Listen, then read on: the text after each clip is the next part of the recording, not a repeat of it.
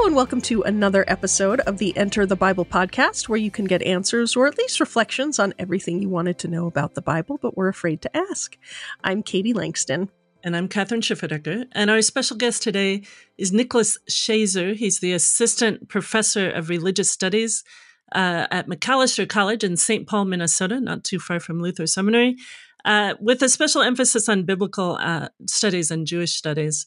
So, welcome, Nick. Thank you for being with us again today. Thanks for having me. Yeah, great to have you. Uh, just to note, uh, Nick has a, a, book coming out with SBL Press called Ransom for Israel Jesus' Exile and Jewish Salvation in the Gospel of Matthew. So, a book uh, specifically on the Gospel of Matthew. Um, so, we uh, invited you uh, here today, Nick, to to address a question that a listener submitted on the Enter the Bible website. And as always, listeners, if you want to submit a question, just go to enterthebible.org and we will get to as many as we can. So uh, it's uh, it's a bit of a lengthy question, but it's I think worth reading the whole thing just to understand what the the uh, uh, person who submitted it is asking. So here's the question: Hi, I'm a teenager who would like some advice and guidance on my question. How is it possible to take the Bible figuratively or metaphorically, but also believe that Jesus actually rose from the dead. I've been struggling to understand what I believe, and this has been a roadblock in my faith. I don't think the story of Jonah is 100% literal, but does carry symbolic significance and meaning. But I do believe Jesus rose again and is God. How do we know what is literal versus figurative in the Bible? So it's a really good question. Uh, it's a big question, and it's a good. I question. love that question. Yeah. It's a wonderful yeah, yeah. question. Um, yeah, so, and it yeah, it has to do not just, of course, with Jonah or with the resurrection, but but basically, how do we read Scripture? But mm-hmm. go ahead, Nick. How would you address? Absolutely, yeah, right. So you know, it, it's not always easy to ascertain exactly how we should be reading something. You know, there's different genres in biblical reading and interpretation. So you get something like the Psalms, which are prayers and poetry. I mean, that probably shouldn't be interpreted exactly the same way as, say, the book of Judges, you know, which is narrative, and uh, and so it, it can be tricky. And uh, oftentimes, what we're doing is just doing our best to come up with evidence for our for our different interpretations. Uh, when it comes to Jonah, I'll do this as briefly as I can. Jonah uh, is an actual prophet in historical literature, in the Deuteronomistic history in the Bible. And what happens with the book of Jonah, as we know it, the very short four chapter text on Jonah and the Ninevites, etc., is that the author of that text is writing at a what's called a post-exilic time. So that is after the Babylonian exile, which is in 586 BCE. So uh, the author is taking Jonah, the figure, right, the prophet, and building a narrative around Jonah. And, you know, the question had something to do with I don't take everything 100% literally in Jonah. That's perfectly fine. Uh, Jonah is, um, Jonah is, is, uh, it's, it's pretty clear that it's supposed to be comedic. Uh, yeah. And, and Jonah kind of does the opposite of every good prophet that we have. So Jonah is kind of like a negative foil. Like if you want to be a good prophet, kind of don't be like Jonah. Um, but there's a lot of narrative repetition in Jonah. There's a lot of important stuff. One of those things is number three. Uh, particularly in the Greek version of Jonah, which is uh, called the Septuagint, the Greek translation of the Hebrew Bible. Um, this number three shows up all the time. And one of the three numbers is um, Jonah being in the belly of a big fish, a dag gadol in Hebrew, not a whale, by the way. Uh, being in the belly of a big fish for three days and three nights and then vomited up onto the dry land. Now, the issue here is vis-a-vis Jesus' resurrection, is that Jesus himself in Matthew 12 40 says that just as Jonah was in the belly of the fish for three days and three nights, so too is the Son of Man, that's Jesus, going to be in the heart of the earth for days and three. So that is, Jesus links his experience of death, uh, being in the grave, and then being raised from the dead by God. Jesus links that to the event of Jonah. So what do we do, right? If we don't take Jonah 100% literally, and I'm, I'm actually on board with, with that, I think that the Hebrew text compels us actually towards that. I think it's actually a, a, a sound uh, biblical conclusion as opposed to like, you know, being you know just dropping the bible wholesale or saying that didn't happen historically or this didn't happen no i think that the literature itself pushes us to the idea that we should be taking jonah in a different way okay than Right. fully historically. That said what do we do with jesus does that mean that with jesus' resurrection we also have to take that ahistorically or metaphorically or literarily? Like what do we do? Well it's very clear that the gospels take jesus' resurrection as an embodied physical historical event. There's just no way around that. This is not some uh, you know sort of abstract kind of thing where we saw a vision but we weren't really sure what we saw and you know jesus was raised from the dead in our hearts or something like that Right. uh, no, no, no. Jesus is is literally raised from the dead. You know, the stone is rolled away. He's gone. He's out of his tomb, and then he appears to his disciples. d- Depending on again, depending on the um, the resurrection narrative in the Gospels that you're reading. But an important thing to note is that this body that Jesus gets uh, in his, in his raised state is physical. It is his body in many ways, and it's something else. So, for example, uh, if you remember on the road to Emmaus, Jesus, this is Luke chapter 24. It's the last Yep. chapter of Luke. And he meets two on the road to Emmaus, and it says they don't recognize him. Mhm. Uh, why? Well, it's not just because they're thick, it's because Jesus' body is a resurrection body, or as Paul will talk about in 1 Corinthians 15, a spirit body. I'll get back to that in a second. So, Jesus, you know, can sit down in Luke and eat with his disciples and Right. break bread. He He's fish. chewing. He's he's Yeah. he's yeah, and right, they exactly. touch him. That's right. So this is the Gospel of John. So John chapter 20, he makes a fish breakfast. They're sitting down, he's eating it, he's swallowing the food. He says to doubting Thomas, you know, touch my side, touch my hands. Th- This is his body and it's physical. At the same time in John, he he walks through walls. Right. He appears in a room that's locked and he just appears. So the body is is uh, physical, if you want. Yeah, meaning when I say physical, I mean we've got it's an entity embodied in space and time. Yeah, but it's not made of of uh, the flesh and blood. The the the kind of to, to go back to Paul. This is um, 1 Corinthians 15. By the way, this is like the best distillation that we have in the New Testament of this idea of resurrection and having a resurrection body. Paul says things like, well, when God's kingdom comes to earth and we're all raised from the dead bodily, we'll get a new body. Um, he says that those who aren't dead will just be changed in the twinkling of an eye, and there'll be a trumpet blast, which in it's the Greek translation of the sh- word shofar in Hebrew, which is a ram's horn. This goes back to all sorts of biblical precedents. But Paul envisions the pe- people being physically and bodily raised from the dead. That is, shaking dust off of your shoulder, getting out of the grave physically, but you're made of new stuff. You're not made of flesh and blood because that's perishable. That that Mm. goes away, that degrades. And Paul says what is perishable cannot inherit that that which is imperishable. What's imperishable? The eternal kingdom of God. God makes a new heavens and a new earth at the end of days. We're going back to eschatology now. And this goes back to the Old Testament. This is Isaiah 65 and 66, or it's Daniel chapter 12, where this is there's this idea of a, a new heaven and new earth. We're in some sort of new epoch. And Daniel talks about physical resurrection, that Mhm. those who sleep in the dust of the earth will arise, some to everlasting life and some to, some to everlasting abhorrence. And even in that, the word for abhorrence, da'aron, in, in Hebrew, is taken from the same word in Isaiah at the end of Isaiah. So all these biblical writers are building on each other in this.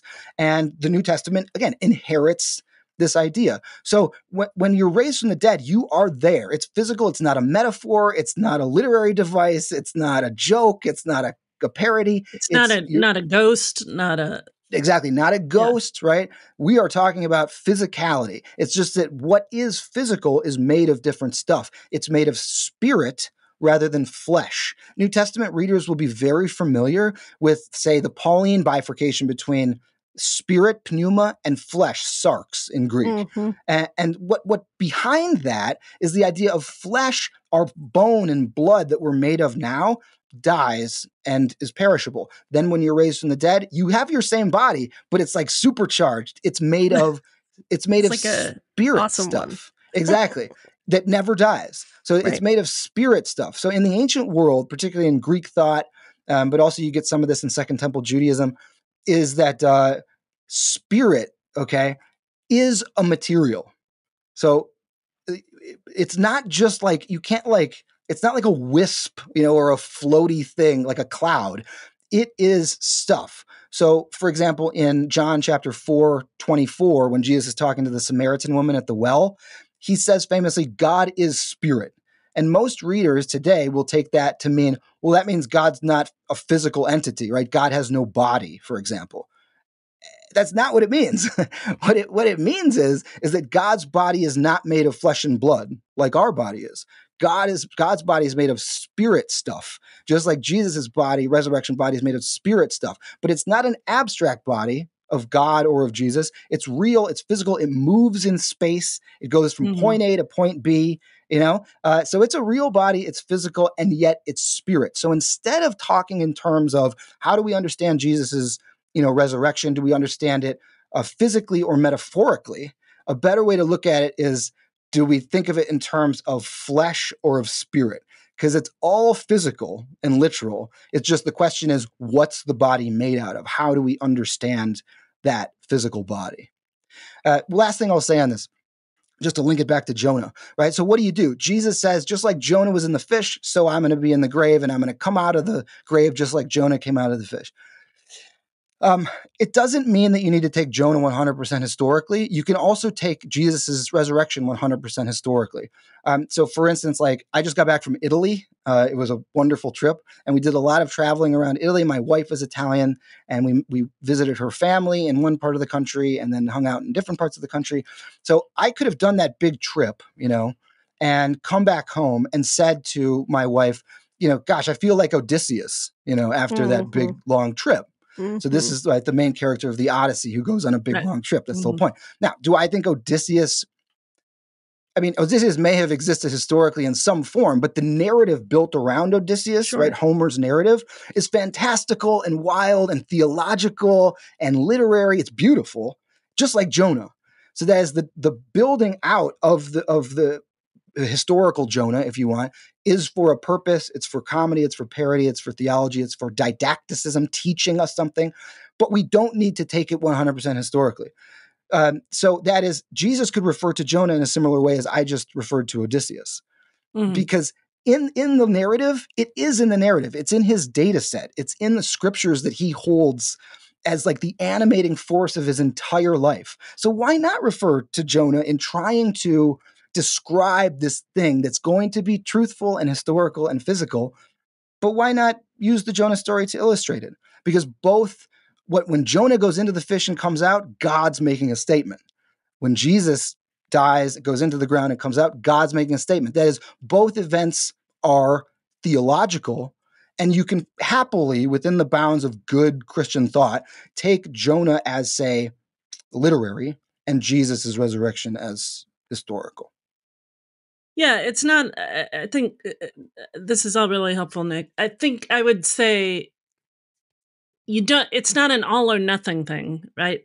With scripture, like you don't have to believe everything literally historically in order to accept the literal historical bodily resurrection of Jesus, right? Like it, that's and, right. And Jonah is a good example. I completely agree with you, right? It, it, it, when you read it, especially when you read it in the Hebrew, but but also you can get this in English. It is kind of a it's a it's like a parody. It's this story that's meant to evoke laughter. It's humorous.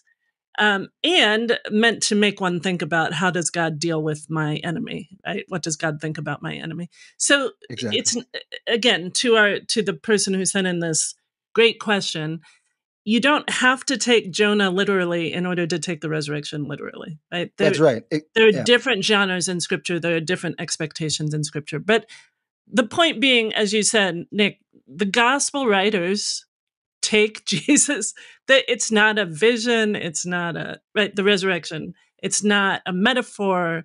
Uh, they mean us to take it very literally.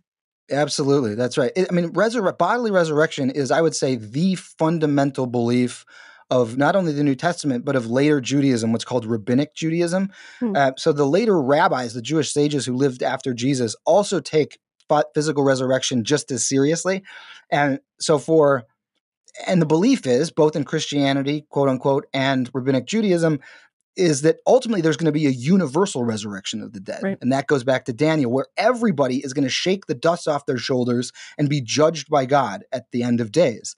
And, and so Jesus' resurrection has to be physical and literal if we are to follow in those footsteps and our resurrection be something more than metaphor. Yeah. Um, yeah. Yeah. Yeah. I don't know how a metaphorical resurrection would help anybody. Um, Right, to sure, be frank. Right. Right. Uh, so yeah, but but again, and to go back to your point, Kathryn, about Jonah, just really briefly, um, there are differences that the um, the biblical the gospel writers uh, would would say exist between Jonah and Jesus as people. So that as it's not Sure. always a one to one comparative. right. Jonah is doing stuff wrong, right? Good prophets don't, Don't do do what that. Jonah does. You know, Right. kum lech get up Yeah. and go to jonah and he immediately goes in the opposite direction but elijah god says kum lech get up and he immediately goes so jonah's doing the bad thing so certainly matthew and the other luke and these other gospel writers aren't equating everything jonah did and said or the person of jonah with everything jesus did and said that's way too strict an understanding so the same can be true of the precise uh you know presentation of jonah's swallowing by the by the fish and coming out of the fish and jesus' precise death and resurrection like they're not one to ones The- the- even the gospel writers are not making that point Right. Right. Yeah, Yeah. and I, I would I would add just this thought, you know, um, understanding like what the writers of the the various books in scripture are trying to do is really important. So it- it's not um, special pleading. The book of Jonah itself wants to be read literarily. exactly The gospels want to be read historically yeah the psalms want to be read poetically and Yep. liturgically Yep. right and so it's actually taking i think it's taking the text much more seriously not Mhm. to superimpose this like is it literal metaphorical that's that's a very modern way of looking at it that's not how historically people read the scripture or the people who wrote the scripture what they were trying to do when they were they were not trying to write Yep. a science textbook or you know what i mean like yeah So- absolutely so Yeah. it it's actually in my mind it takes the text more seriously Yep. to try to understand what it's actually trying to do uh than to you know assume that we have to um you know if jonah didn't get swallowed by a whale then jesus didn't Yeah. rise from the dead those are not that's not necessary that those are completely different questions completely different literar- literature that is trying to do completely different things That absolutely right. Yeah, that's right. I, I the Katie, what you said about taking the, the text more seriously, I think that's really, really important. Sometimes we think in terms of okay, like the if uh, my Christian walk should be dictated by my ability to believe, you know, believe beyond belief. Like if I close my Mhm. eyes, you know, I believe, believe, believe that all these things happened historically.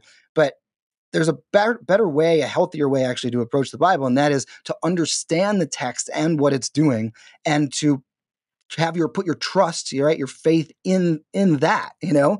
Um, and so sometimes we take what the Bible's trying to tell us, and as you say, superimpose our own understanding of what we think the Bible's saying or wanting us to hear.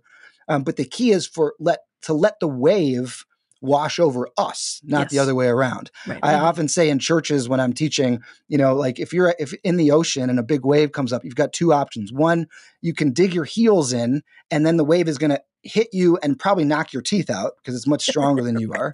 Yeah. That's bad. You don't want that. don't do Or that. you can go loose and let the wave take you where it's going to take you, and then you'll be safe. It'll cough you up on on the shore, hopefully, rather than dragging you out. But the point is, that's that's how we should under we moderns, Christian or not, need to understand that that's how we should be interpreting the Bible and understand the Bible. We need the wave of the Bible to hit us and allow us to tell tell us what it wants to say. It's a living document.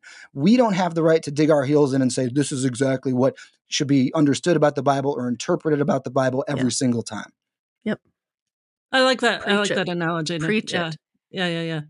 I think uh, to go back to resurrection just briefly, uh, I, I, appreciate your distinguishing between spirit and flesh, but also saying spirit isn't what we moderns think of it, right? That there is a reality, a, a spatial even reality about spirit when Paul talks about that, that in 1 Corinthians 15.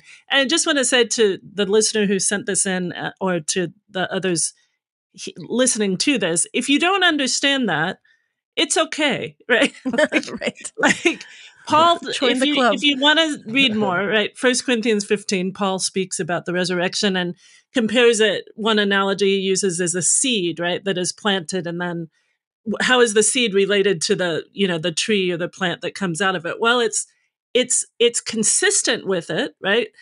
The tree comes from the seed, but it's not the same stuff exactly, right? So it, it's a mystery, but what we what we hold as a foundational belief as Christians is that the resurrection happened historically, literally, you know, uh, physically, uh, um, and that and that that is the that as as Paul says, right? Christ's resurrection is the first fruits of those of of of the promise of resurrection, right? That just as Christ has been raised, we also will be raised. So whether we understand exactly what Paul means by spirit and flesh or what kind of body it is, uh, I think we hold to that promise, right? That that that the resurrection of Christ uh, uh, happened the, historically, literally, physically, and that we too are promised that resurrection at the end of time.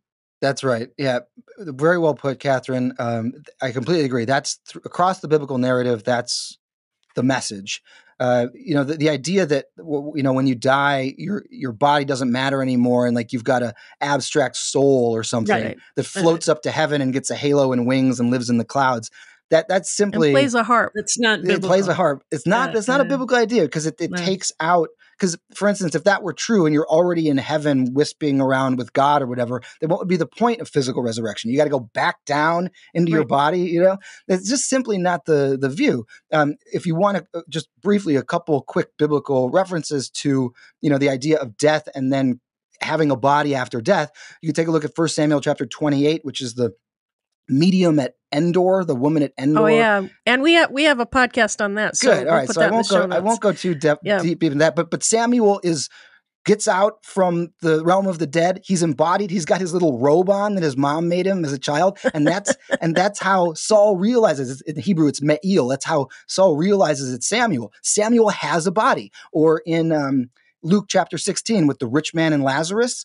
The rich man who's bad during his life, he goes into one part of uh, Hades, you know, and then he's talking to Abraham, and then in the bosom of Abraham, by the way, bosom means chest. The the space, the Greek word means space between your shoulders. So how about that for embodied? And they've got ma- they've got mouths. The the the rich man needs to get some water. The the idea in Judaism, and I, I'm including the Gospels and the New Testament in that frame sure. is that you die your physical body that you have to, is in the grave you know that will decay and then there's a realm of the dead where you are embodied. And one day you're going to be pulled out of that. And that, and then your body's going to be the spirit body that's no less embodied than the one that you had. And it's going to be you when it comes out of the ground. So that's kind of the view, just to try to put some legs on the whole, this yeah. idea of spirit versus flesh, which is kind of hard to understand. Yeah. And one of one of the things that the doctrine of the resurrection or the belief in resurrection helps me with is to to guard against an overly spiritualized um, kind of Gnostic understanding of faith, right? That God cares about bodies, right? God cares about uh, flesh and blood, uh, and uh, and and cares about uh, soil, and cares about water, and cares about air, right? Absolutely. I mean, God creates it all. God becomes flesh and blood, uh, mm-hmm. and God Good. resurrects uh, bodies, right? So I, I just think that it it fits right? It fits with what we know of god from both uh, hebrew scripture testimony jewish testimony and uh, and from the new testament as well. Yeah well put. Well thank you so much nick for uh, uh talking about this great question uh, and uh, we really appreciate your your input and your insights so much. Thank you for joining us. Yeah that was, that was wonderful. My pleasure. Yeah it was great to see you both Yeah. And uh, thank you to our listeners uh, and our viewers for uh, listening to this uh, episode of the Enter the Bible podcast. Uh, please go to Enter the Bible, submit your questions, uh, review and rate this podcast, recommend it to a friend. And we look forward to talking to you next time. Take care.